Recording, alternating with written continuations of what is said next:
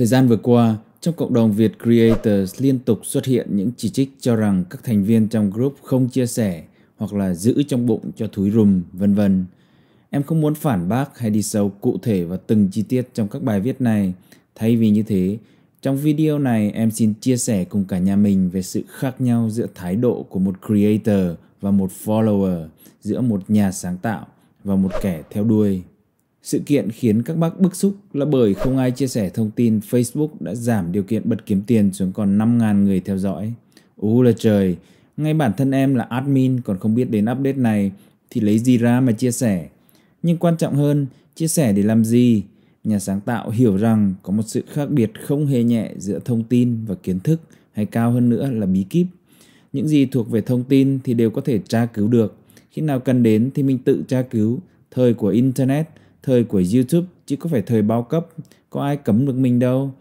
Còn thứ mà nhà sáng tạo tìm kiếm, mong muốn được chia sẻ và chia sẻ lại cho người khác là kiến thức và cao cấp hơn là bí quyết. Kiến thức và bí quyết khác hẳn với thông tin, chúng bao gồm hai đặc trưng. Thứ nhất, chúng hàm chứa nhiều thông tin phức tạp được sắp xếp lại theo một trình tự đơn giản và dễ hiểu. Đâu phải tự nhiên mà người ta nói đơn giản là biểu hiện của sự uyên bác. Thứ hai, chúng phải phù hợp cho từng con người cụ thể trong từng hoàn cảnh cụ thể. Vậy nên, thi thoảng trong group chúng ta thấy có những lời khuyên như con tên là vua nhưng SEO phải là hoàng hậu. Không SEO làm sao mà lên view được. Nhưng cũng có những lúc thấy lời khuyên cứ tập trung vào SEO làm sao lên view được. SEO phải như không SEO. Rõ ràng là trái ngược nhau nhưng lại đều có lý bởi vì nó phù hợp với từng creator cụ thể trong từng giai đoạn phát triển cụ thể. Vì không hiểu điều này followers mãi mãi đi tìm tòi những mảnh ghép thông tin rời rạc không có giá trị.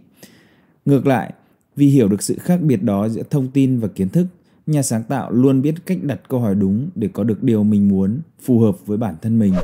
Giả sử bác đang cần tìm một đồ vật và buộc phải tìm nó trong một căn phòng lạ tối như hũ nút. Những kẻ theo đuôi khi vừa bước vào phòng đã lên tiếng trách móc giận hơn. Tối như thế này làm sao tôi tìm được điều tôi muốn? Tại sao không ai bật đèn lên? Ngược lại, khi nhà sáng tạo thấy căn phòng đang tối, trước khi đi tìm đồ vật của mình, họ ráng tự tìm công tắc bật sáng bóng đèn lên. Bóng đèn này sáng lên không chỉ giúp cho chính mình, ánh sáng của nó cũng giúp cho những người khác nhìn thấy đường và hoàn thành việc riêng của họ. Biết đâu sau khi được việc của họ, nhờ có thêm nhiều con mắt và nhờ sự kỳ diệu của lòng biết ơn, họ có thể giúp mình tìm được thứ mình muốn nhanh hơn.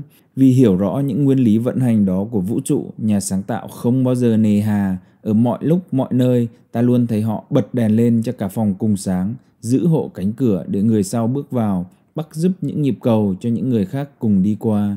Bồ tát không bao giờ có thời gian để đổ lỗi. Nhưng hãy quay về đến tận gốc. Tại sao nhà sáng tạo thì luôn có thái độ hào phóng và rộng rãi như vậy? Tại sao họ có thể luôn giữ tâm thế biết đủ, không tranh giành nguồn lực của xã hội, cũng không giữ lại cho thúi? Bởi vì chúng ta ý thức được rằng là một creator, chúng ta không đơn giản chỉ là những người tạo ra một vài clip để mua vui cho thiên hạ. Dù trong bất kỳ tình huống khó khăn nào, chúng ta cũng tự tin rằng mình có đủ năng lực để sáng tạo ra cả một vũ trụ mới theo ý nguyện của bản thân mình.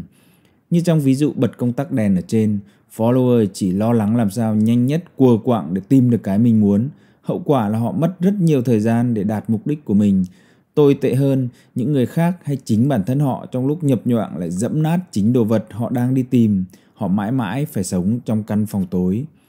Trong khi đó, ở một vũ trụ song song khác, chỉ với một động tác nhỏ thôi, chúng ta có thể làm ánh sáng chan hòa cả căn phòng. Nhà sáng tạo tạo ra cả một thế giới mới, thế giới của ánh sáng. Trong thế giới đó, vô số cơ hội mới được tạo ra, không chỉ dành cho bản thân creator mà cũng là dành cho tất cả mọi người khác. Vậy nên, dù chỉ chiếm tỷ lệ rất nhỏ một vài phần trăm trong xã hội, creator chính là những người có sức ảnh hưởng lớn lao nhất, thiết kế ra tất cả mọi hệ thống hoạt động để 99% những follower khác biết phải làm gì với cuộc sống của mình. Trong nhà thiền thường có một câu, nếu anh có cái gậy, tôi sẽ trao cho anh cái gậy. Nếu anh không có gậy, tôi sẽ cướp gậy của anh. Nghe có lạ đời không? Tại sao phải có gậy mới nhận được gậy? Tại sao không có gì trong tay thì lại bị cướp mất gậy? Không lạ đâu, trong cộng đồng của chúng ta với những người còn cảm thấy thiếu thốn, thấy bức xúc, mong anh chị em hiểu rằng rất có thể mình chưa có cái gậy. Trước khi tìm view, Việc đầu tiên chúng ta cần làm là phải tìm cho được cây gậy của chính bản thân mình. Cây gậy đó là gì? Là thái độ đúng đắn của con người sáng tạo. Còn với những người đã có gậy, tức là đã hiểu ra vấn đề thì dù có xem được clip này của em hay không, thái độ của các bạn vẫn sẽ như thế, rộng rãi, hào sảng và dấn thân. Video này vì vậy chỉ mong góp một tiếng nói rất nhỏ thôi để cả nhà Việt Creators tiếp tục vững tin với hành trình kỳ diệu của những con người sáng tạo. Đồng thời nhắc nhở anh chị em tiếp tục bật đèn, mở cửa, bắt những nhịp cầu cho nhau để cùng chung tay thực hiện mục tiêu 1 triệu creators trước năm 2030. Tự hào, sáng tạo.